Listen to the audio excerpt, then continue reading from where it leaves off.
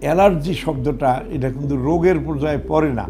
কিন্তু অ্যালার্জি হওয়ার বিশেষ কারণ হলো, অ্যালার্জি যাদের বডিতে বেশি তারা একটু সৌভাগ্যবান ব্যক্তি। আমি একটু অন্য দিক থেকে কথাটা বললাম যে অনেক সৌভাগ্য যাদের, তাদের একটু হাতগামী, একটু পাগামী একটু মাথাগামে একটু ভুরু, জোর ভুরু, একটু চুল বেশি, শরীরে একটু হরমোন বেশি সব কিছুই বেশি, শরীরে একটু ঠান্ডাও বেশি, চাইলে একটু গরমও বেশি সব কিছুই বেশি। সব কখনো ঠান্ডা বাড়াইয়া দিতে হয়, কখনো ঠান্ডা কমাই দিতে হয়।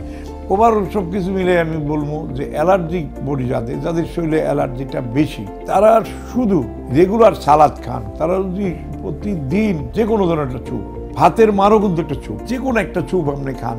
আপনি যদি সব ধরনের অবশিষ্ট শাকসবজিগুলিকে একসাথে করে একটু পানি দিয়ে ভালো করে জাল দিয়ে চুপ বানায় নেন, সেটাও একটা চুপ। এবং জুস জুস বলতে আমি মনে করি যে আমাদের কমলা আমাদের দেশের মালটা, আমাদের দেশের তরমুজ, আমাদের দেশের পেঁপে, আমাদের দেশের যত ফল আছে সবগুলি আমরা ব্ল্যান্ড করে একটু জুস বানাইতে পারি। আমরা সব কিছু ব্ল্যান্ড করে আবার একটু জাল দিয়ে স্যুপ বানাইতে পারি। স্যুপ এবং জুস যারা অনেক বেশি খাবে, গরম গরম খারাপ খাবার খাবে, সাধারণত যাদের অ্যালার্জি তাদের একটু সর্দি, কাশি, জ্বর বেশি থাকে। আবার তাদের অনেক দিক থেকে তারা আবার নিরাপদও থাকে। তাদের কোনো দিন হাই প্রেশার হয় না, কম হয়। তাদের শুধু কি খাদ্য অভ্যাসের একটা বিবর্তন, পরিবর্তন আনতে হবে।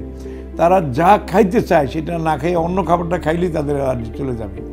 তারা যেন অনেক বেশি বেশি রসানো কষানো খাবার খেতে চায়। অনেক বেশি পোলাও বিরিয়ানি খেতে চায়। অনেক বেশি rich food hard food junk food খেতে চায়। ফাস্ট ফুড বেশি খেতে চায়। অ্যালার্জি আছে এই জাতীয় খাবারগুলি আমরা জানি। এগুলি যদি আমরা কম খাই, আলহামদুলিল্লাহ আমাদের এই সমস্যাটা কমে যাবে।